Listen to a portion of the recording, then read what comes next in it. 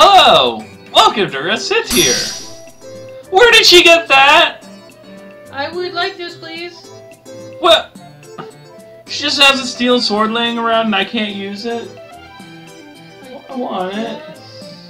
I want that sword.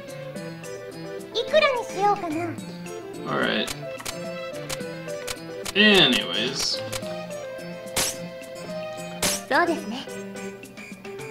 Yes! An excellent voice. Thank you so much! Yay! I sold a steel sword! Excellent. Let us do that just one more time. to be sure. Hello! Welcome to Recettear. I would like this, please. I'm sure you would. そうですね Yes, an excellent price. ありがとうございました Thank you so much. 売れたよ Yay! I sold a steel sword.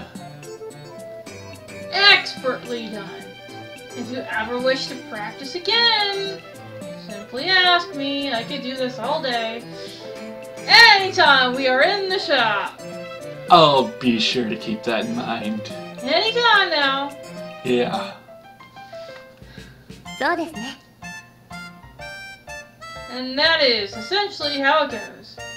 You are quite good for someone who has never done this before. えへへ really? We still have a little bit of time left today, so let us go ahead and open the store proper. You could just about have a uh, have an incomplete sentence counter. We should. If anyone comes in, simply handle them in the same way that we just practiced. Oh, I will handle them expertly. Whoa! You sure it'll be okay? Do not worry. As the saying goes, salesmanship is more of an art than it is a science. You learn as you go. Now then, I will open us up. Go on and sit at the counter. Okay day. What? what kind of word is that? I don't know. Welcome! Ooh, this is nice.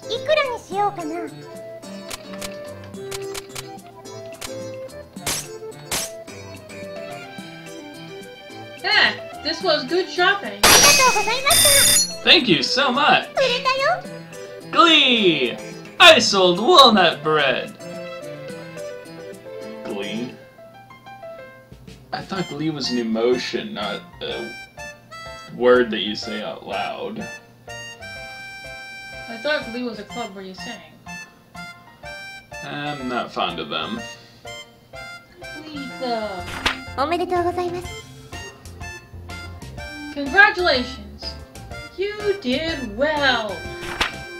I sold stuff. I, me, Rossetti, I sold stuff, like, to people! And not mannequins! Hey, Tear, I... I'm so happy! I, I did it! Tear, I did it! Papa, I did it! And that's how we started running an item shop. Oh, you're wondering why we started an item shop at all? Well, for that, we would have to start at the beginning. Oh, well, to explain that, you will need to understand how we first met. We could have started at the beginning in the first place, but... yeah.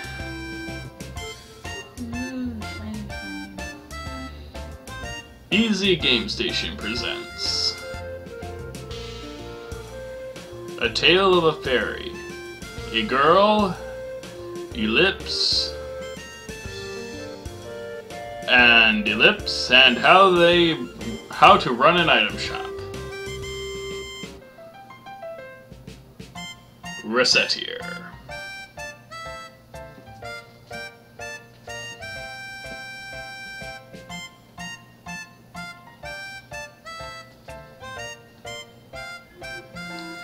Let's see.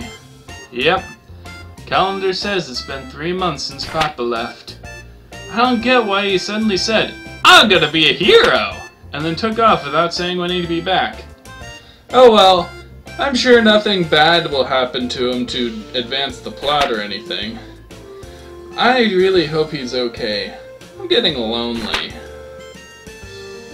Well, I shouldn't worry too much about him. The best thing about him is how tough he is. He'll be okay. Nothing can possibly kill him. What? Papa wouldn't knock. Who is that? Hi. Yes, who is it? Huh, nobody here. Wait, what? At my feet? Good evening. Why is she question marked? We know her name. You've already shown us the name. Um. You are Mademoiselle Recette Lemongrass. Um, Miss Fairy? Pardon me, but I am the one asking questions. Again, you are Recette Lemongrass. Uh, um, yes, I- I'm Rossetti. My name is Tyr. I am an agent of the Terme Finance Company. I'm assuming the E's silent. Make up your mind. Yes, ma'am. Finance company? I am here to collect payment on a loan paid out to your father. Here is the contract and my identification. Uh, loan repayment? I, I uh, In plainer terms, I am here to get our money back. If you are incapable of facilitating repayment, this house will be seized as collateral in order to repay the loan. Facilitating collateral seize? What? Demo, demo. Um, but uh, I, I Pop, Papa is. In... He is not here. Yes, I see that now. Monsieur Lemongrass disappeared following a fracas atop the local volcano, so we assumed he might have returned here. Yes, because the obvious answer to someone fighting a giant monster on top of a volcano is that they went home. Of course. Where else would they go? I mean, I'm sure he didn't fall inside the volcano and crash and burn. Oh, obviously not. Even if he has not, however, the contract covers these, this eventuality. It covers this. Quite. As the sole remaining member of this household, we shall require that you pay his debts in his stead. Oh, what? But, but how am I supposed to? I, I barely have enough money to live by, by myself. Naturally. We are not demanding it all be repaid at once. There is still a small amount of time before any payment is due. Therefore, Am I gonna get sold off in parts to distant foreign lands to repay Papa's debts? wonder if I can I can survive with only two internal organs. Maybe if I eat a lot of spinach, I can replace my blood. And, but I don't want to be a sailor. What am I gonna do? Ahem!